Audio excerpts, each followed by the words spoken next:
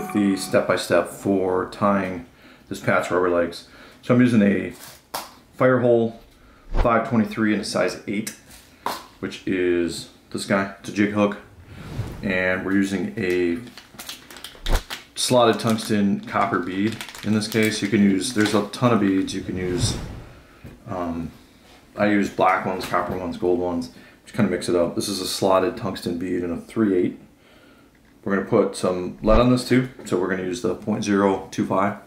And I try to stay consistent. I'll tie these Pat's Rubber Legs in a 3.8 bead and a 4.6 bead. But what I try to do is stay consistent with the amount of lead that I'm putting on them. So there's a difference between the bugs. So I try to do like 10 wraps, whether it's a, a 3.8 bead or a 4.6 bead. We've got our Firehole 523, size 8, copper 3.8 tungsten bead. And we're going to do 10 wraps of lead.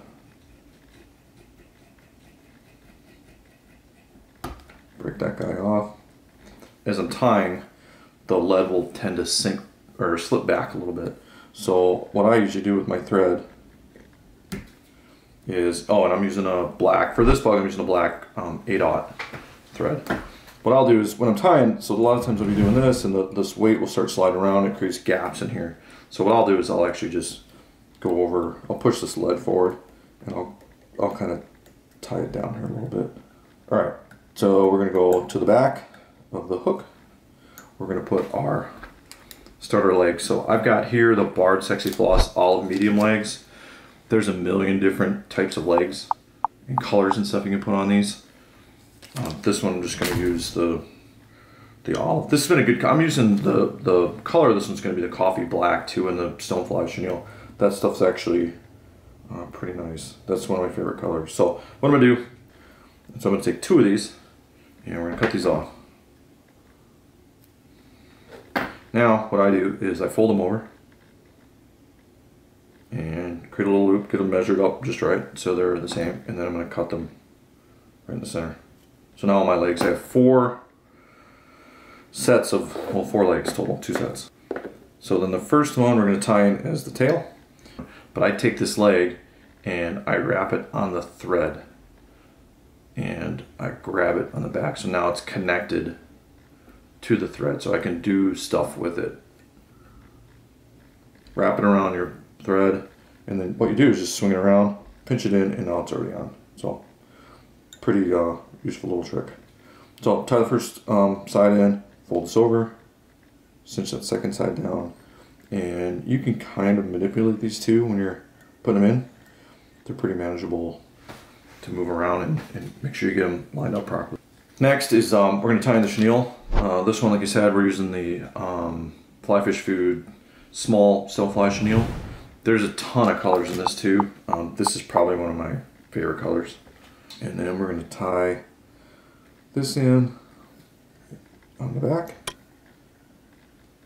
And there's another spot I try to stay consistent with these is so once I tie this in, I, for my own self and my own flies I'm tying, I will wrap this five times. So I will start here and wrap this five times. So I'll go one, two, and again, what this does for me is by having these five wraps it just creates some kind of consistency and makes uh, tying these a little bit quicker. Now what I'm to do is grab another leg and same thing, we're going to wrap it around the thread and then we can swing up, pinch it. But then what I do is fold the leg over. So, so then after I tie that in, I fold this one over and I kind of put a little tension on it and get it kind of lined up where I want to. And typically, this guy will go just about where you want.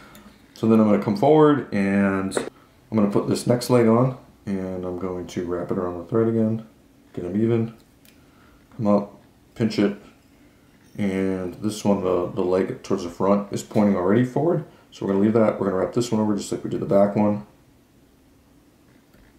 Come across, pull tension on it, get it where we want it, and pinch it with that thread, and then it's in a, like a pretty good spot there. So we don't even have to do anything with that one now. Then what we'll do is, and if you want your legs to adjust a little more, you can put some thread wraps in front of them too. That'll help adjust them, but you can do that with the chenille as well. We got our legs in here, now we can start wrapping our chenille up. And again, this is where we can kind of put a little pressure on these legs with the chenille too to get them where we want them. So then we'll come forward with this guy.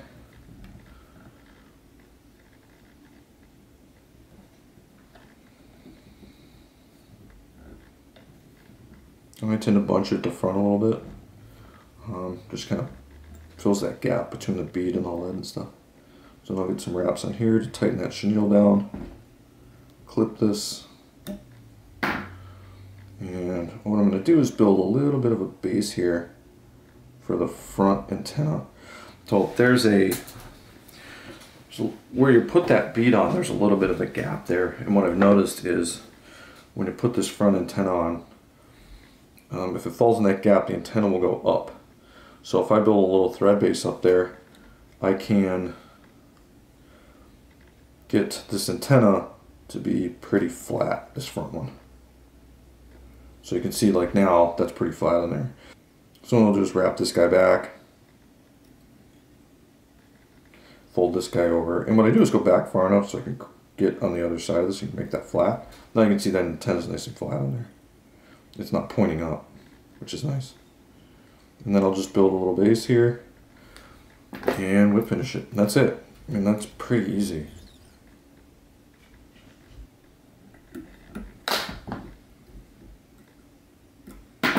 That's it. Quick, super quick and easy.